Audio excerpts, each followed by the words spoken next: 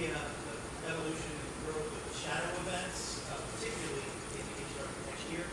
Um, you know, a lot of the events do require preparation or rehearsal or anything like that.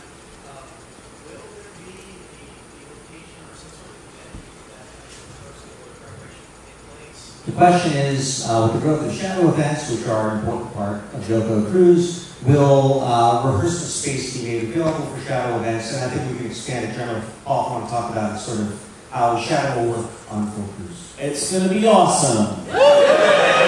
um, that, that's actually a very good idea, and honestly, hadn't really occurred to me. But we absolutely, would definitely want to continue the, the Shadow Cruise process. It is one of our favorite parts. It's obviously it's expanding. I mean, you guys seem to love doing it.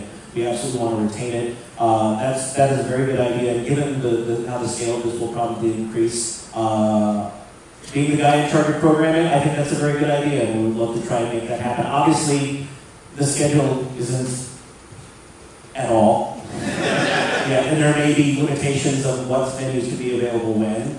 Uh, but I am happy to build that into our thinking. And, and that is one of the nice things about the full ship is you think about all the small spaces on this ship, all the little, you know, all the little rooms that you don't even really go into, you just walk past because they're not for you.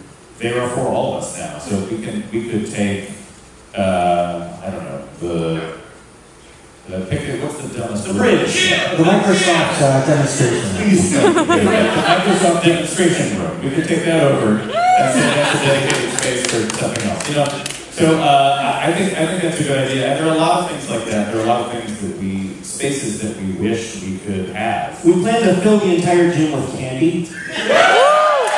Which gets eaten and not cleaned, so we can do it. And we filled with candy in the non-smoking section, right? Right. Okay. tanzanite, of course. Of course there will be tanzanite. We're not monsters.